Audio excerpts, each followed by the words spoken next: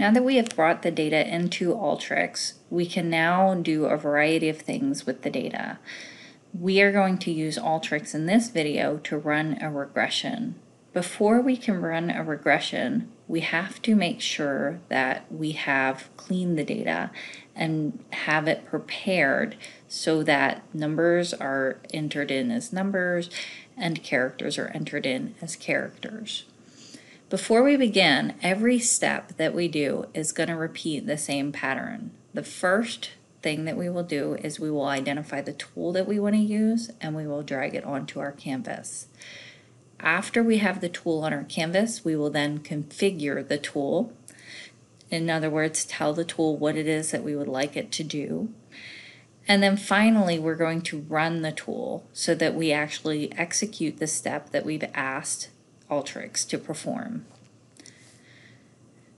Before we can run the regression, we need to make sure that our data is clean and prepared properly. In order to do so, we are going to use the preparation menu that is right next to the in-out menu.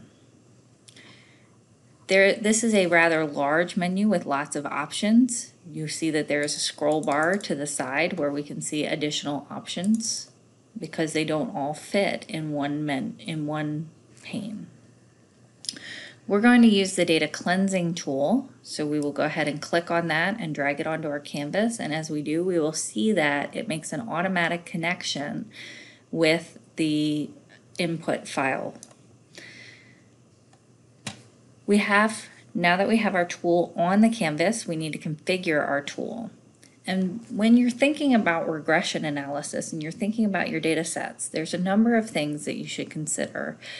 Not the least of is whether the default options in Alteryx are what it is that you would like. Alteryx is asking what fields it would like us to clean. These are all the fields that are available in our data set, and that is fine. But the next option is asking us if we would like to replace nulls, meaning missing values, with zeros if they are a numeric field, or blanks if they are a character. This may or may not be appropriate. For this data set, it is not appropriate to replace the nulls. The reason being is that, for example, assume that a company does not have an effective tax rate, but it has a positive net income number.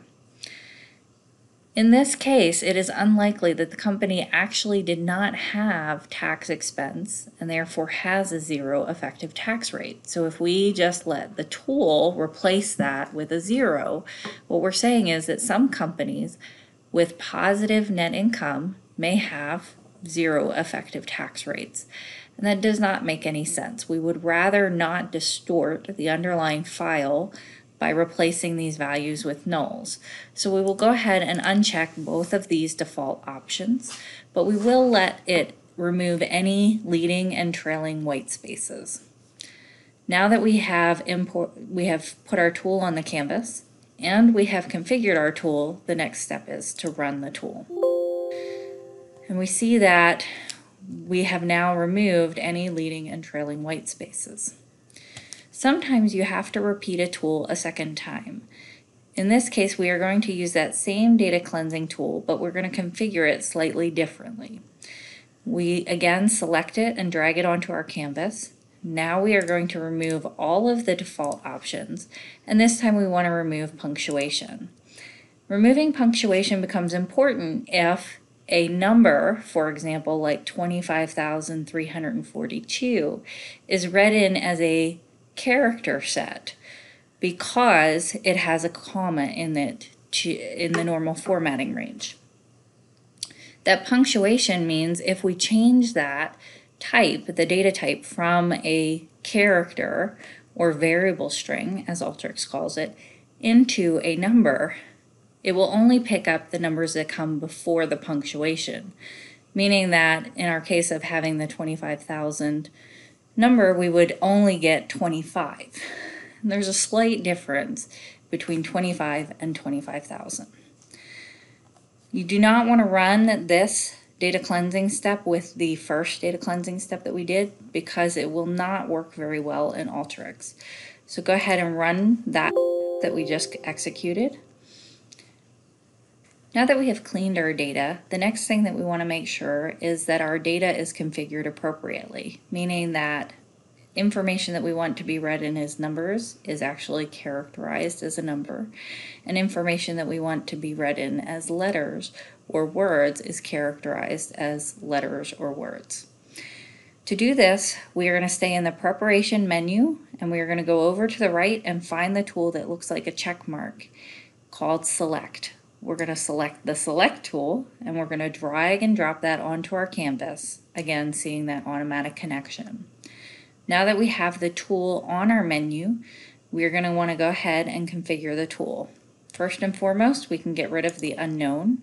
This simply adds an additional column of data into our spreadsheet. Then, if we scroll over in the configuration panel, we can see that we have the option to change the type of data, to rename the data in case we did not like the name that it currently had, and provide a description of data. In this case, the type of data is correct for almost every one of the fields that was read in. The only one that needs to be changed is the two-digit SIC code, which was read in as a character Alteryx denotes this through variable string, since characters can be of any length. And we need to change that to a number, which is denoted by double in Alteryx. To do so, we click on the down arrow and we see the menu of all of the types of data that could we could classify something as. And we're going to scroll until we find double and click once on double.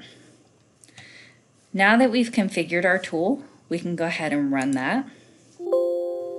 And we see that Alteryx also provides us with an indication of what it is that we have changed by highlighting that type in a light red. Now that we have our data correctly typed and we have it cleaned, the next thing is to actually run the regression. We will find the regression menu under the predictive it is labeled with an R. Menu options. Here we see all of the different types of multivariate analyses that we could conduct. In this case, we're going to use the linear regression tool. So we will go ahead and select that and drag it onto our canvas. Now that we have it on our canvas, we need to configure our tool. We'll do so first by typing in our model name. It is important to note that in this case, the model name may not have any spaces. So if you would like a space, then you can use an underscore to delineate differences in words. I named the model ETR regression. Now we need to select the target variable. This may also be called the dependent variable or the left-hand side variable for a regression. This is the variable that we would like to predict. In this case, we want to predict effective tax rates or capped effective tax rates. Using the drop-down menu, I scrolled through all of my data options to find the effective tax rate, and I clicked once to make that my target variable. After we have our target variable, we then need to select our predictor variables. You should not have your target variable be a predictor variable. So you will be picking your independent variables or your right hand side variables that you think may influence or have an association with your target variable. For this case, we'll go ahead and just select a couple at random. And I know the case asks you to have five. I only selected four because I'm demonstrating this. Now that I have my tool figure configured, I can go ahead and run my regression. This step may take a little bit of time since it requires a good processing power on the backside to run the regression. And when we see the output, it looks a little less than thrilling. We really don't see, unlike all of our other steps, any changes to the data other than what happened with this last step. Even if we click through, we can see our data, but we still don't see our regression results. To see our regression results, we're going to go back to the In-Out menu, and here we are going to select the Browse button. This browse tool looks like a pair of binoculars and we're going to drag it onto our canvas making sure that it makes a connection with the R side of the linear regression. Once we do so, there is no configuration required for the browse tool. So we have nothing to do in our configuration menu and we will just go ahead and select run.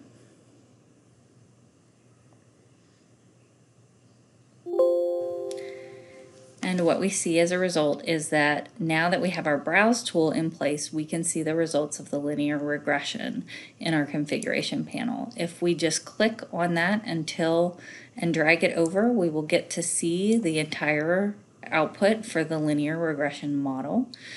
This will show us our coefficients, each of the independent variables that we selected, the coefficient estimate, their standard error, the t-value, associated with the regression result, and then also our significance codes.